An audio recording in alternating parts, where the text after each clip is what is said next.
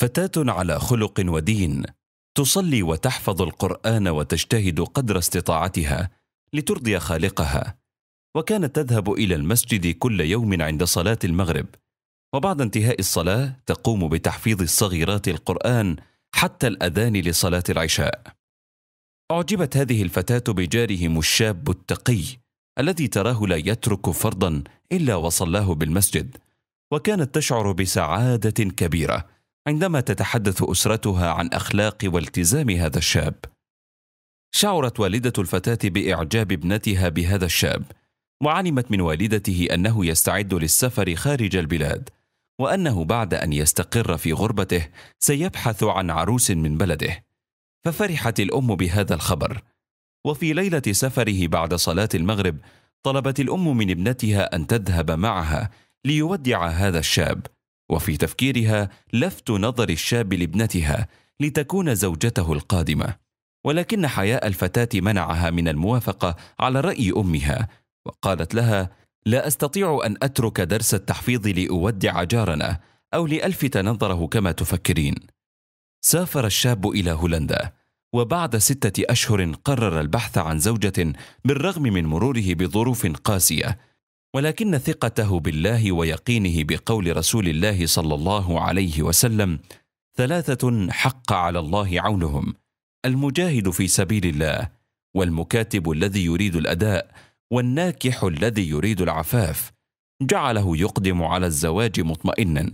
فأوكل المهمة إلى والدته وأوصاها بأن تبدأ بالقريبة. وكان يقصد جارته لإعجابه بالتزامها وخلقها.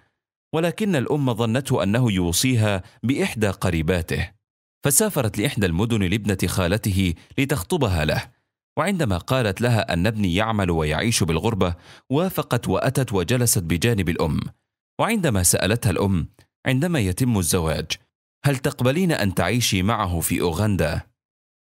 تغيرت ملامح الفتاة وغضبت وقالت أوغندا مستحيل. عادت الأم إلى مدينتها حزينة مكسورة الخاطر وعندما وصلت بالقرب من بيتها التقت بجارتهم بالطريق وسألتها عن سبب حزنها فحكت لها القصة ثم سألت الفتاة جارتهم والله إني أحبك كثيرا لأدبك وأخلاقك هل تقبلين يا ابنتي الزواج من ولدي وتذهبين معه إلى أوغندا؟ ابتسمت الفتاة وقالت أوافق يا أمي. وفي المساء ذهبت الأم وأسرتها لخطبة الفتاة ثم اتصلت بابنها بالهاتف وبعد أن سلمت عليه وأخبرته بموافقة جارتهم أعطت الهاتف لها لتتحدث مع ابنها وبدأت الفتاة بالسلام ثم سألته كيف الأجواء عندك في أوغندا؟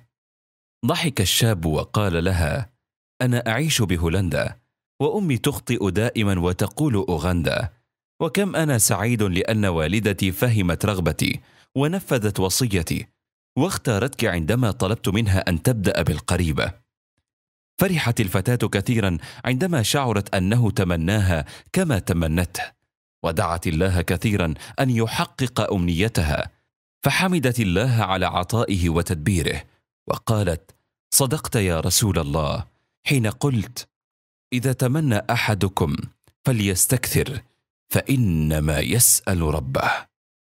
وإذا سألك عبادي عني فإني قريب أجيب دعوة الداع إذا دعان.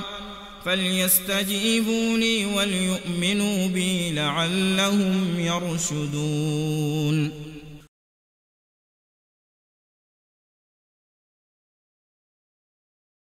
أرملة صالحة قامت بتربية ورعاية ابنها الصغير بعد وفاة والده وهو في السادسة من عمره.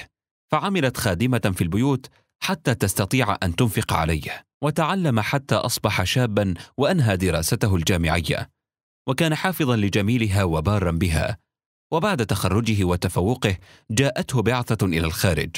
فودع أمه والدموع تملأ عينيها وهي توصيه قائلة انتبه يا بني على نفسك ولا تقطع عني أخبارك. كن دائما على اتصال بي حتى أطمئن على صحتك ولا تنسني. فقال لها الابن مبتسما. كيف أنساك يا أمي؟ وقد أوصاني الله بك. وكذلك أوصاني رسول الله صلى الله عليه وسلم عندما قال الجنة تحت أقدام الأمهات وقوله أيضا رضا الرب في رضا الوالدين وسخطه في سخطهما. اطمأنت الأم وسافر الابن وأكمل تعليمه وعاد بعد مضي زمن طويل. فاستقبلته أمه بفرحة كبيرة خاصة بعدما علمت بحصوله على وظيفة عالية. وكانت الأم قد اختارت له فتاة صالحة على خلق ودين وتحفظ كتاب الله. ولكنه اعتذر لأمه وأخبرها أنه قد اتفق مع أحد أصدقائه في الغربة على الزواج من أخته المثقفة الغنية الجميلة. فلم تعترض الأم وتمنت له السعادة. وبعد شهور قليلة تم تحديد موعد حفل الزفاف. وفي أفخم القاعات جلس الابن بجانب العروس ونادى على أمه كي تسلم على العروس التي لم تشاهدها سوى مرة واحدة. فأقبلت الأم بفرحة كبيرة واحتضنت زوجة ابنها بحرارة كبيرة. ولكنها فوجئت بالعروس تصرخ في وجهها أمام الجميع وتقول لها لقد أتلفت فستان الزفاف وزينتي.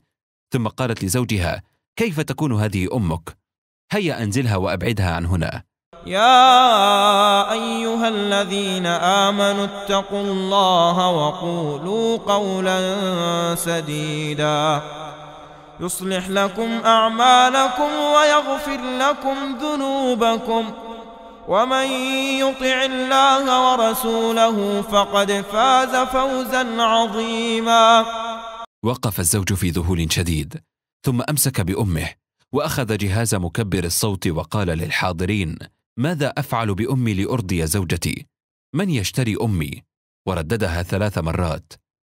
فذهل الحاضرون من كلامه الذي قاله بدموع عينيه ثم خلع خاتم الزواج وألقى به عند قدمي زوجته وقال أنا أشتري أمي. والتفت إلى عروسه معلنا طلاقه منها ثم أخذ أمه وعاد بها إلى بيتهما. وفي الصباح كانت كل منطقته علمت بما حدث فجاءه رجل صالح وقال له لبرك بأمك فلن أجد رجلا أفضل منك لابنتي. ففرحت الأم كثيرا وقالت لابنها هذا والد الفتاة التي اخترتها لك إنها هدية من الله تستحقها. إنا عرضنا الأمانة على السماوات والأرض والجبال فأبين أن يحملنها وأشفقن منها وأشفقن منها وحملها الإنسان إنه كان ظلوما جهولا ليعذب الله المنافقين والمنافقات والمشركين والمشركات ويتوب الله على المؤمنين والمؤمنات وكان الله غفورا رحيما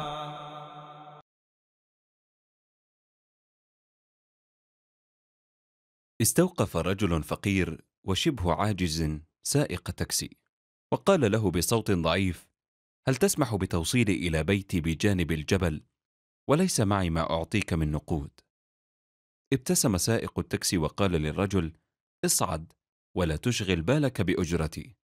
أوصله سائق التاكسي حتى بيته وعندما نزل الرجل أقبل عليه أولاده الصغار وسألوه أجئتنا بالخبز يا أبتي؟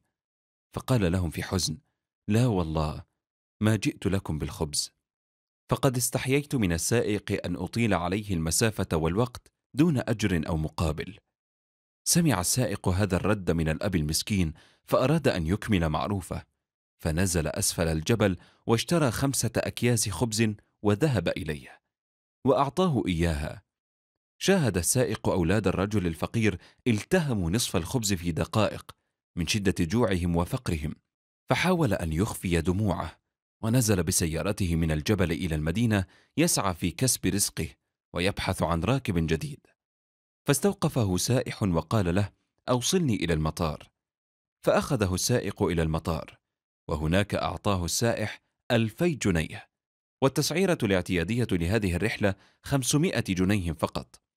وهو في المطار جاءه سائح آخر طلب منه أن يوصله إلى فندق شهير وأعطاه مئة دولار.